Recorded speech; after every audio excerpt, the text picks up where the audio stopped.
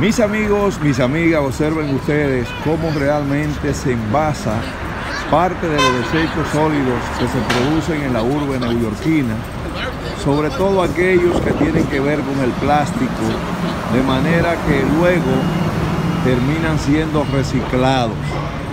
Es una forma de contribuir al respeto, ¿verdad?, al medio ambiente, de que el ecosistema en realidad eh, permanezca en condiciones que permitan el subsistir de los seres humanos.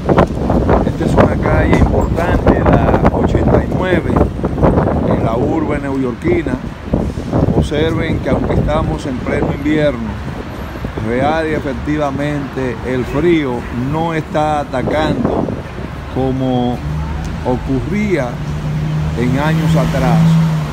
Eh, tampoco en el día de hoy, por lo menos, se observa eh, lluvia y esto constituye un motivo de mucha alegría para muchos de los residentes en esta gran urbe del mundo, la capital del mundo, conocida también como la Gran Manzana.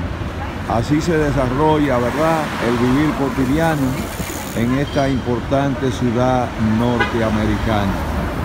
Observen ustedes también la limpieza ¿eh?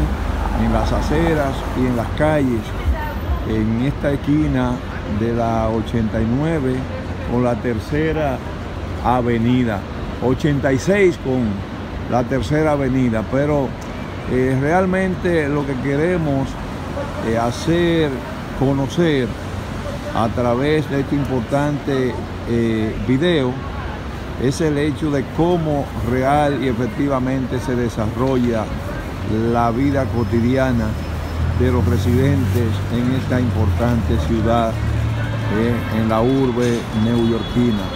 Saquen ustedes sus conclusiones.